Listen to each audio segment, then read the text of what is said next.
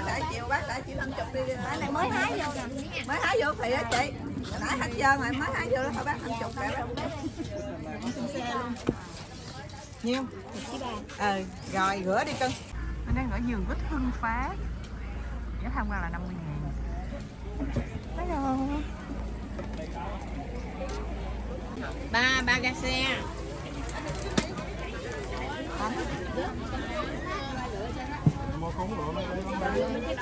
À, đẹp quá. Trong vườn rất hôm nay đi vào ngày chủ nhật cho nên rất là đông người. Trong vườn quýt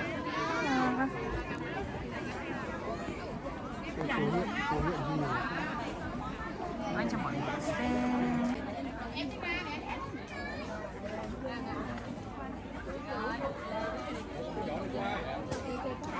Hôm nay sẽ có những cái tâm cho mình ăn uống.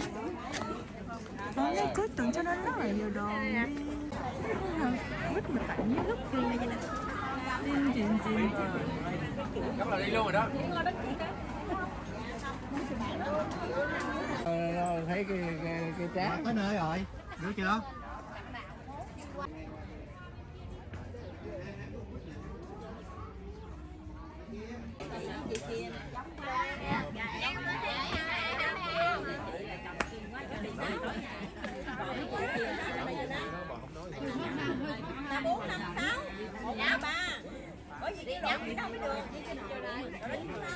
tầm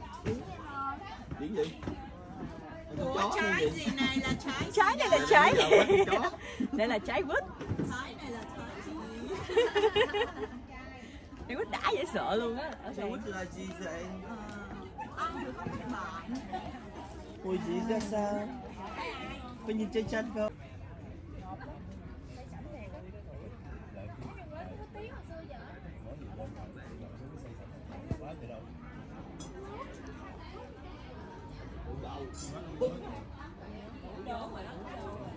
Sao hấp cho? Sao kịp ta? Hái sao kịp? ngày hết rồi Không nhưng mà nếu mà